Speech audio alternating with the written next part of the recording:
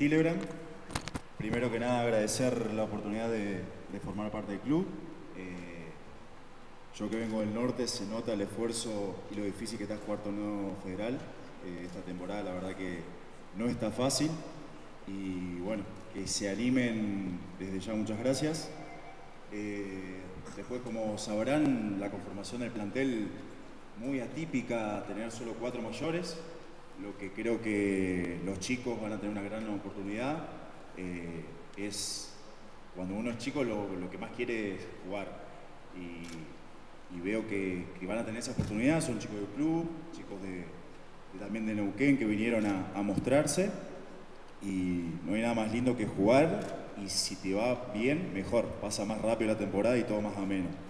Pero eh, creo que va a ser una temporada que, vamos a tratar de guiarlo a los chicos, los más grandes, y nosotros vamos a necesitar mucho de ellos porque la verdad que el básquet se volvió muy físico y hoy se juega con 8 o 9 jugadores y la verdad que tenemos que ser un equipo largo. Eh, después muy, muy cómodo, hace una semanita que, estoy acá. Eh, tengo que recalcar la calidez humana. La verdad que no hubo un día que alguien no te invite a, la casa, a juntarnos. Fue mi cumple, apenas llegué.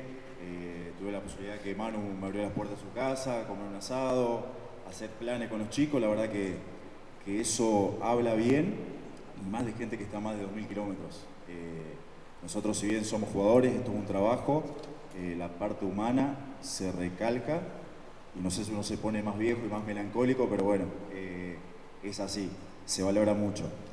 Y desde ya también agradecer a la comisión y a la dirigencia. Yo Petrolero conocí jugando en contra, TNA, y la verdad que valoro mucho el famoso renacer de las instituciones. Eh, hay épocas buenas, épocas malas, y lo bueno es cuando no te va bien, volver a apostar, volver a intentar cambiar lo que, o modificar lo que no dio resultados y dar para adelante, porque no hay semillero, no hay inferior que, que, crezcas si no ve una primera.